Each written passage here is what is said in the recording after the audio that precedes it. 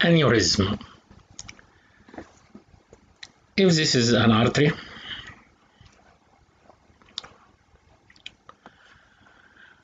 and this occur, what is this? This is a sac containing blood or blood clot. And this sac is connected with the lumen of an artery. This is a definition of aneurysm, a sac filled with blood or blood clot and communicate or connected with the lumen of an artery.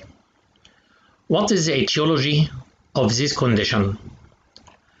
Rarely congenital. If congenital aneurysm occur, it occur usually in the circle of Willis. And these aneurysms are very small. Therefore, they are similar to the berry and called the berry aneurysm. For the Arabic student, what is the berry? زي التوتة مدور كده وحبة صغيرة زي حبة التوت فبيتقال عليه berry aneurysm.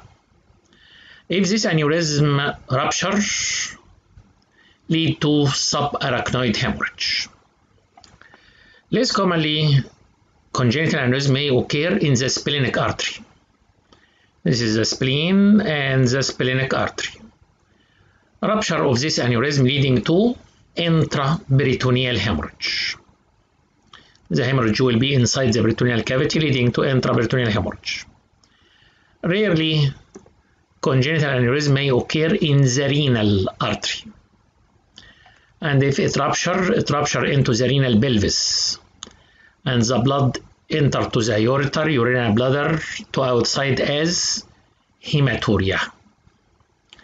This is the rare congenital aneurysm. Much more common pathological.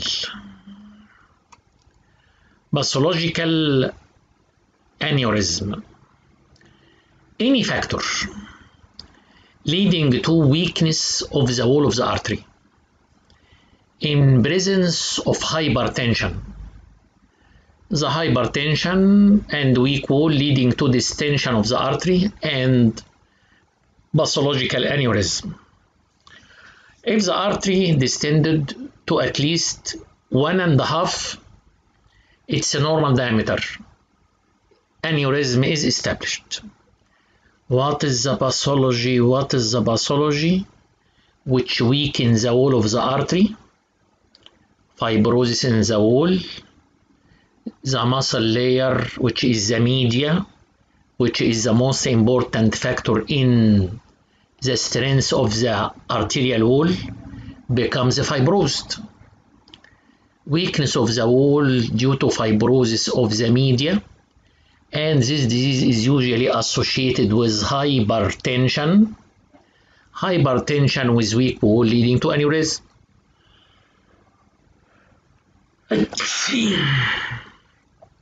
sure this pathology is atherosclerosis weaken the wall which uh, is also associated غالبا uh, usually associated with uh, hypertension leading to atherosclerosis is the commonest cause of aneurysm. Usually the aneurysm occur in this sequelae. Usually in the infrarenal aorta. The part of the abdominal aorta below the origin of renal vessels called the infrarenal aorta. Less commonly iliac artery. Less commonly popliteal arterial aneurysm, less commonly descending aortic aneurysm, less commonly common femoral aneurysm, less commonly carotid aneurysm. Um, this is the atherosclerosis, which is the commonest type. This is very important for the MCQ. And the common site for atherosclerotic aneurysm is infrarenal aorta. Rarely the aneurysm may be like that. What is this multiple these multiple aneurysms? In subacute bacterial endocarditis, shower of emboli pass to many many many branches of blood vessels and bacterial infection of the wall of the artery leading to weakness of the wall of the artery and aneurysms, multiple aneurysms like mycosis.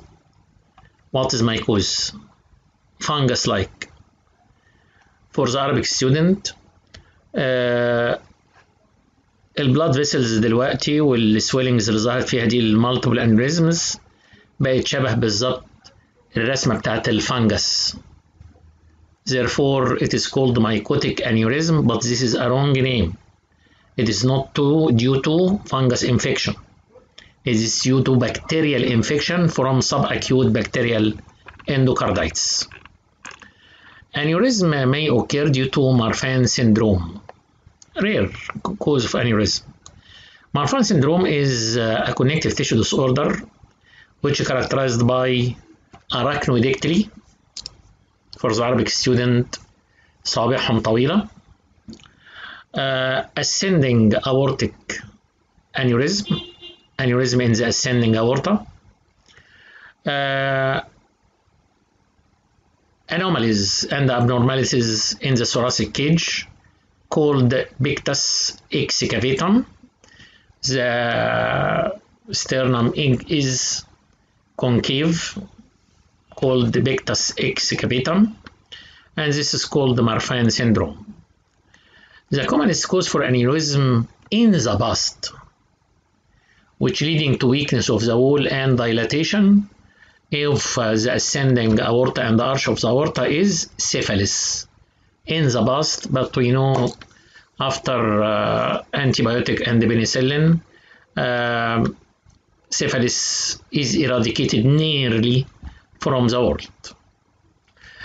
This is uh, the cause of aneurysm. Um, pathologically, pathologically, uh, the aneurysm is uh, classified into congenital aneurysm, basological aneurysm, or traumatic aneurysm. Trauma is the second common cause of aneurysm. The trauma may occur due to blunt trauma. If the blunt trauma produce weakness in the wall of the artery, the arterial wall becomes dilated leading to true aneurysm. What, why is this is called true aneurysm? Because the wall of the aneurysm is the stretched wall of the artery. Therefore, it is called uh, it is called true aneurysm. In contrast, penetrating trauma. Penetrating trauma leading to interruption of the wall of the artery with formation of pulsating hematoma. Around this pulsating hematoma within few weeks, a fibrous wall will surround this hematoma. This is called false aneurysm because the wall of the aneurysm is fibrous tissue around a pulsating hematoma, not the wall of the artery. Therefore, it is called false aneurysm. Therefore, the etiology is congenital aneurysm, which is very rare, pathological aneurysm, and the commonest cause for aneurysm in general is atherosclerosis, or traumatic aneurysm, which is the second common cause. Pathologically, what is uh, the type of aneurysm? We said that aneurysm may be true. The wall of the aneurysm is the wall of the artery. Therefore, it is called true aneurysm. What is the shape of this aneurysm? The shape of this aneurysm is fusiform in shape.